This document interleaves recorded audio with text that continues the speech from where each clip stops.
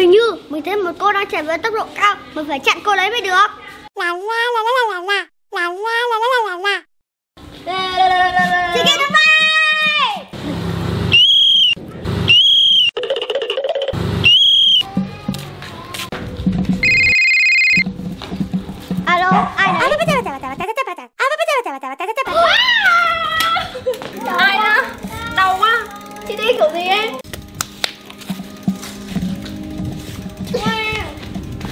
Cái này tôi hỏi chị mới đúng ấy. Đã tham gia giao thông rồi còn cầm ô làm gì? Tôi cầm ô thì làm sao? Còn hơn người vừa đi vừa nghe điện thoại. Tôi thích nghe điện thoại thì làm sao?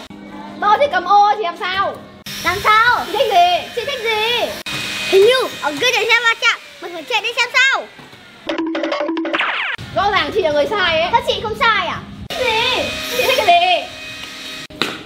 Xin chào mọi người. Có chuyện gì vậy?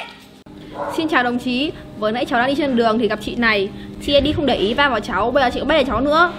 Ai bảo chị thế? Rõ ràng tôi đang đi rất bình thường mà. Ta sẽ đi không để ý đâu mà tôi đấy chứ. Mọi người không phải cãi nhau nữa Tôi đã biết hết sự việc rồi. Vừa nãy chị này đi với tốc độ cao Lại còn cầm ô nữa. Tôi đã ra lệnh dừng lại nhưng mà chị vẫn có tính đi Chứ còn lên lên tôi nữa.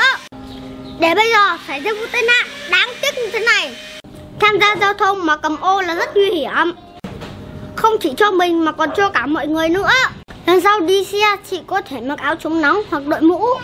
Chứ không được cầm ô. Chị rõ chưa? Vâng cháu biết rồi. Lần sau cháu sẽ không mang ô khi đi xe nữa đâu ạ. Lêu lêu đã sai còn thích cãi cơ. Có chị nữa đấy. Bây giờ đến lượt tôi xử chị nghe này. Khi tham gia giao thông mà nghe điện thoại cũng rất nguy hiểm. Lần sau khi đi xe chị không được nghe điện thoại nữa. Rõ chưa? Vâng cháu biết rồi ạ. Lần sau cháu sẽ không tái phạm nữa đâu Bây giờ hai chị bắt tay nhau làm hòa đi. Lần sau cùng nhau rút kinh nghiệm nhé.